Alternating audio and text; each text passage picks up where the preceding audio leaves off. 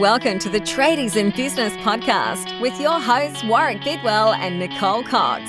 Divert your phone and grab a brew as Waz and Nic unpack tips, tales, secrets, and stuff ups from guests both inside and outside your trade, helping educate and inspire you to break the cycle of gut busting and money stress and create a true trade business.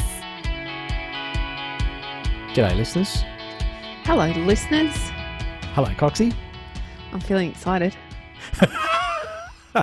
I'm surprised that you're able to focus to be able to record these episodes.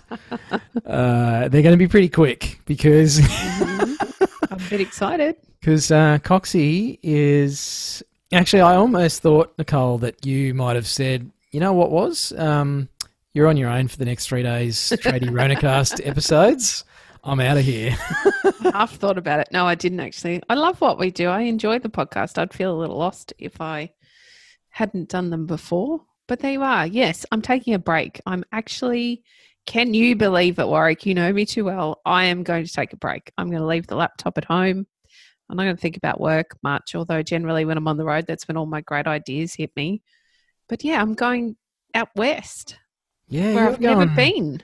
You're going uh, out the back of beyond. Well, for you anyway. Yeah, it is for me very much. So I'm a bit of a city girl at heart. Having been um, born and grown up for a lot of my years in the country, but it was a big central town. Wagga is a huge town.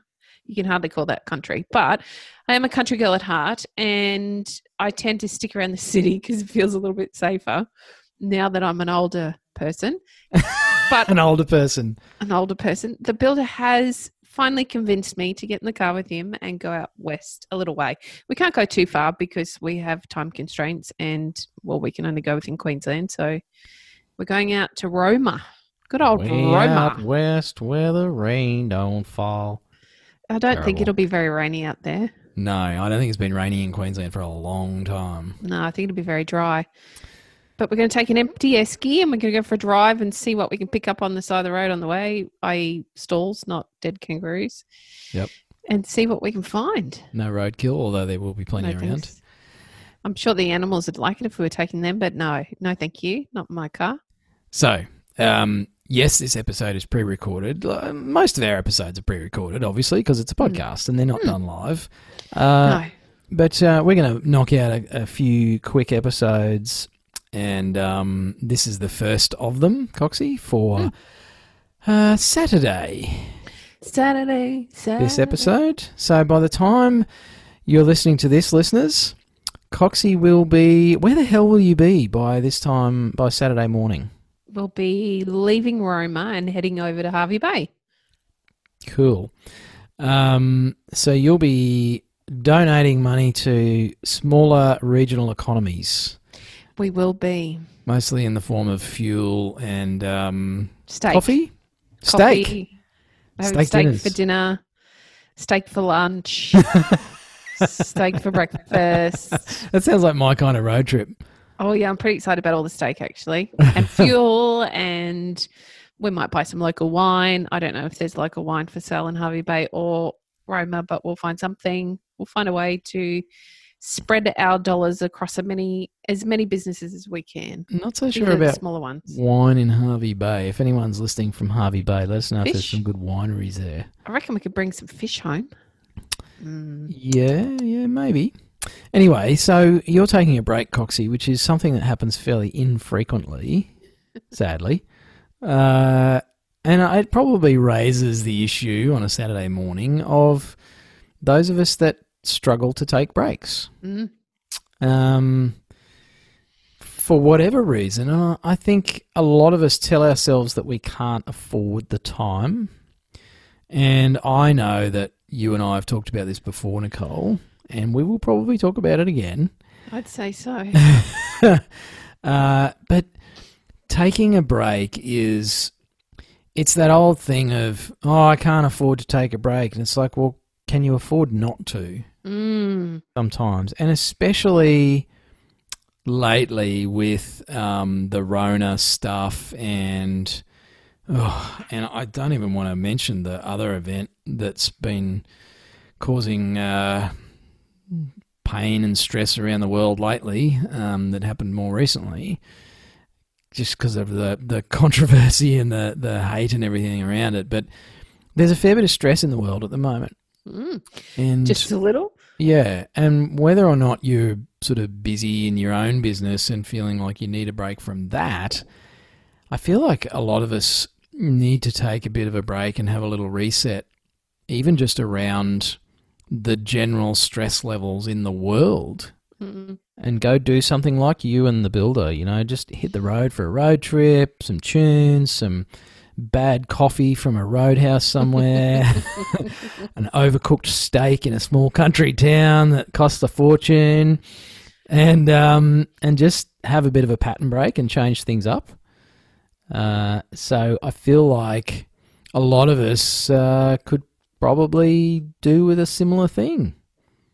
I think we all could. And maybe it's as simple as just a social media break, which is something I never do and will be doing this weekend. I will obviously check in with some stories and things, but I won't be consuming social media, which particularly this year, you and I had this conversation yesterday. This year in particular, I've never seen such a space of hate and judgment like it is now. And that whether that is something that we are actively engaging in or just something that we're regularly consuming, it begins to creep into our mindset and make life a little challenging. So, for me, the most exciting part of my weekend, other than rediscovering who my husband is, um, will be just switching off from social media and not thinking about all of the stuff that's Yep. happening there, which just doesn't really add anything to my life at all. But when we run a business like ours, that is a space that we need to be pretty active in. Yeah, and like you say, whether it's um, the social media space, whether it's uh, watching the news, I, I think, I guess what I was thinking with today's episode was some ways to take a break without actually hitting the road and doing a, a three day Mm. road trip. Um, and because because it's not, well, I won't say possible. It's probably more difficult for a lot of us listening to pack up and take three days away or two days away or whatever it might be. And, and if that's not achievable for you right now, I still think taking a break, in Mm. inverted commas, is really important and it's, and it's very overlooked. Uh, and in fact, um, my my beautiful wife, who uh, had her birthday this week, um, has actually uh, organised to work a nine day fortnight through winter, which is only you know taken two days a month off uh, compared to her normal work. But this is our first Tassie winter, and the days are quite short down here. And so there's not much exposure to the sun because to get your kid off outside requires you to deal with uh, hypothermia. um, and so vitamin D levels probably down, causes a bit of mood stuff, um, and it's quite challenging. Wifey's in a brand new job, like complete, well, not complete career change, but pretty close. New environment, new house. We're a long way from family.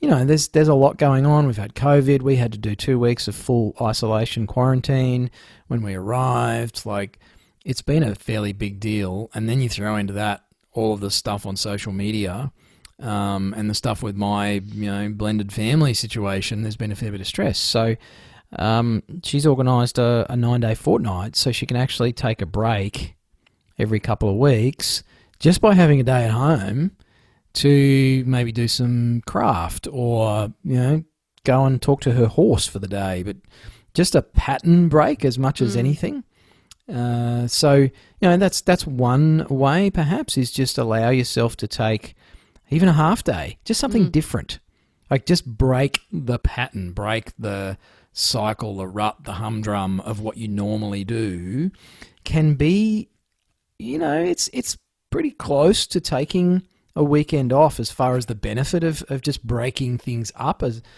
um, as a way to help with headspace and energy levels and stress levels, Coxie? We have lists in our house because we quickly, particularly at the moment with all the Rona stuff and not being able to get out and do anything and go anywhere. So we made lists of what it is that makes us happy. So for me, for example, my list includes um, walking, whether that be it's great if it's a bushwalk or if it's a local walk, that's just fine. Uh, gardening, the beach, being outside in the sunshine, putting my feet in the grass. You can see a theme here, can't you? So, and the builders were a little bit different. He liked to catch up with some friends, um, whether it be for a coffee or for a walk or for a beer. Um, he enjoyed going fishing with the boys or less so playing in the garden, but he'd begrudgingly join me on that one occasionally. So, with our two lists on a Sunday afternoon, we take time out to do what fulfills ourselves each Mm. week as a way to reboot. Um, again, very much like you're saying, it's a reset. It's something a bit different to what our norm is because our norm is so busy. It's a great way for us to take some time out of our regular weeks to do something for ourselves, which makes us both feel more um, satisfied. And when you feel satisfied, you're a better business owner, or a better husband, or a better wife, or a better partner, better parent, because we all need that little bit of time to top our own selves up. And I think that Mm. gets very forgotten ordinarily, but particularly at a time like this when we can't actually get out and do some of those things that would normally fill our cups. Yes. Yeah, it it probably drifts off into another rabbit hole, listeners, for me. What a surprise. uh, with that, you, you just bring up about filling your cup. And I had a conversation with uh, one of our community who, who is also one of our clients uh, here at Tradies in Business. Um, and we are coaching this person uh, as a tradiepreneur. So we're working one on one with this guy. And he just mentioned something about ability to deal with stress and, and what's on his plate at the moment. And um, he made a comment about his number on the scales. hmm And so I dug a little deeper, as we do as coaches and mentors, Coxie, just to find out what was behind the comment. And, um, you know, nothing sinister or anything like that, but he just let things slip a little bit. And uh, he'll know that I'm talking about him now because I'm about to, to share his secret to the um, to the padding that has arrived over the last few months, and it relates to ice cream. And Oh, but ice cream's really tasty. oh, I know, I, I can't buy ice cream and have in the house, apart from the fact Oh, that it doesn't agree with me anymore. Yeah. But if I buy a good gelato to have in the freezer, just so I can have a little bit, dead set, it'll be gone in three nights because it'd be like, I'll have a bowl of gelato. And tomorrow night, I'll have another bowl of gelato. And it just becomes an every night thing. I'm very lucky that I cannot eat ice cream. Otherwise, I think I would do the same. Although, Naughty Daughter did introduce me to a particular brand that I can consume. I think even you would like. But yes, anyway, Yes. ice cream.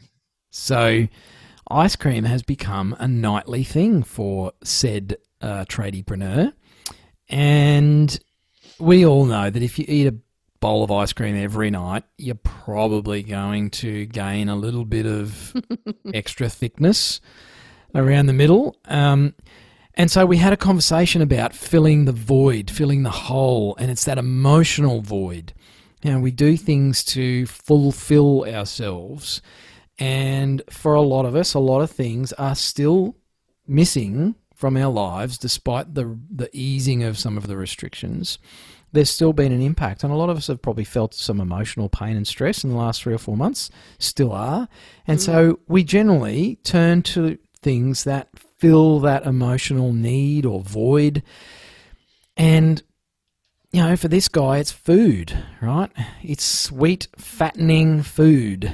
Uh, and so we had a conversation about finding other things to fill that hole. Now, for you, Coxie, it's a road trip this weekend. Mm. Um, for a lot of people, it's exercise, and exercise is a fantastic one because it has that spin off benefit of keeping you healthy. uh, it might be reading your favorite book or doing some meditation or getting your toes in the grass. So it's your list that you wrote out. Mm. And I guess in terms of what we're talking about this morning uh, for this episode is in terms of taking a break. It doesn't have to be going on holiday. Doesn't have to be going to Fiji or Bali or anywhere like that. Forget about that for the next couple of years.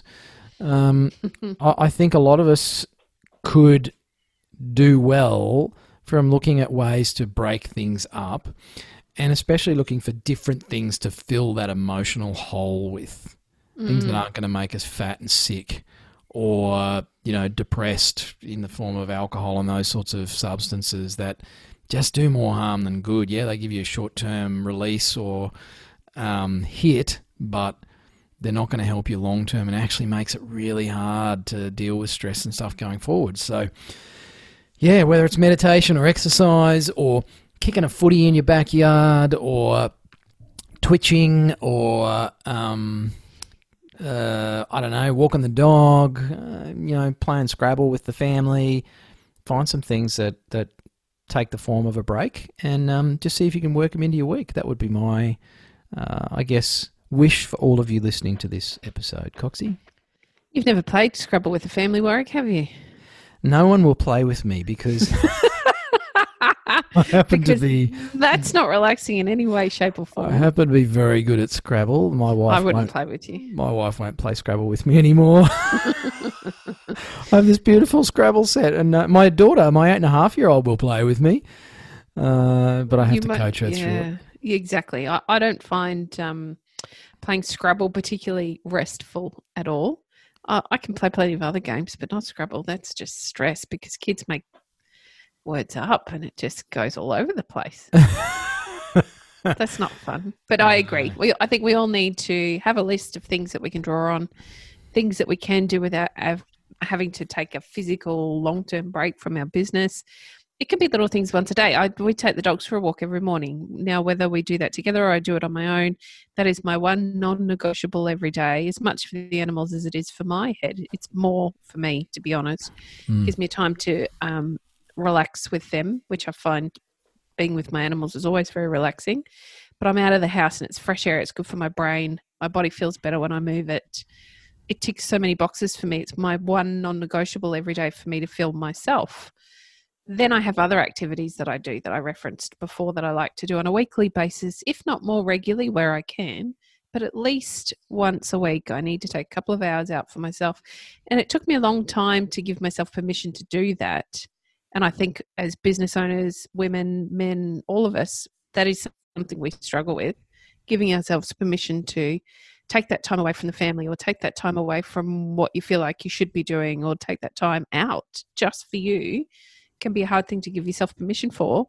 But if you don't, how are you refilling your cup? You can't run on a depleted cup forever. You can't be constantly empty and trying to push through. Your business will start to show it through the cracks that it that appears because you're too tired or mentally fatigued or exhausted to remember that you need to do X, Y, Z, or because you're not feeling good enough about yourself because you're not taking that time out to make do the things that make you feel comfortable or good. Mm. Very quickly, all of those cracks start to appear in your mental health, in your business, in your family life, and all you can fix that by taking it half an hour a day or a couple of hours a week. It really is such an underrated, simple tool for life. So one way you can take a break, listeners, is uh, by joining us for our tradie happy hour next Friday. So you've got a whole week almost to get ready for it. Four o'clock on Fridays, and it is. I even, uh, even though some of the conversations, I guess, can be a little businessy sometimes. Um, generally, there's a bunch of laughs. There's a whole lot of piss taking, and um, I think a lot of people are really looking forward to that each Friday now because it's a bit of a it's it's a pattern break is the neuro linguistic programming terminology for it, but it's just doing something different to your normal run of the mill day or week. So join us for a drink uh, or a glass. Well, the drink includes tea, coffee, water, um, soda water, Air. cordial. You could just drink the joy that comes from spending time with Coxie and online. uh, and um, and come and fill your cup with a bit of laughter and uh, a bit of feel good garbage. But yeah, um, think about how you can take a break this week, listeners, or this weekend, or this coming week. You know, break things up a bit. And I'm going to stop so that we can record a couple more episodes because Coxie is looking a bit distracted already. Chomping at the bit. Oh, well, um, we have coaching sessions to do this afternoon. So, no, I'm not going anywhere. I can be very um, thinky linky about what I should be doing. Hey, listeners, thanks for listening, tuning in, following us. Thanks for the, the people who have reviewed the show. Thanks for all of you who are involved in our community. Um, we love uh, making a difference to you, and um, and we love to hear about the difference that you are making in your own life, in your own trade business. Um, you know, by listening to the show and and uh, being a part of the tradies in business community. So, thank you for that. Uh, please reach out to us if there's anything we can do to help. Um, and uh, enjoy the rest of your Saturday. And thank you, Warwick, for holding the fort while I run away and pretend like I don't exist in business. and thank you also for continually posting our daily podcast. That's hard work, and I don't think we've ever publicly acknowledged how challenging that can be at times for you to try and fit into your very busy schedule. So, just a quick thank you from me, and I'm sure from our listeners who clearly are turning up every day because we just surpassed 100,000 Yes. downloads. We didn't even make a deal out of it. No, we need to make a deal. And that's because you managed to get these podcasts up all the time. So thank you. I appreciate that. Well, thank you, Nicole, and thank you, listeners, for letting me know when it doesn't go up in the morning. They're pretty quick with it. it's like, hey, uh, where's the where's the tradie Ronacast? Was like, it's coming, it's coming. it's getting there. Like just because it wasn't there at five twenty a.m. uh, absolute pleasure, Coxie, and yes, hundred thousand downloads How uh, cool of that? the show since it started. So Mhm. um, that's that's all thanks to you, listeners. So uh, hang in there. We're we're gunning for two hundred thousand. Looking forward to it. Enjoy your Saturday. Bye. Hooroo. You've been listening to the Tradies in Business podcast with Warwick Bidwell and Nicole Cox. Find out more about today's guest, tools for your trade business, and other cool stuff at tradiesinbusiness.com.au.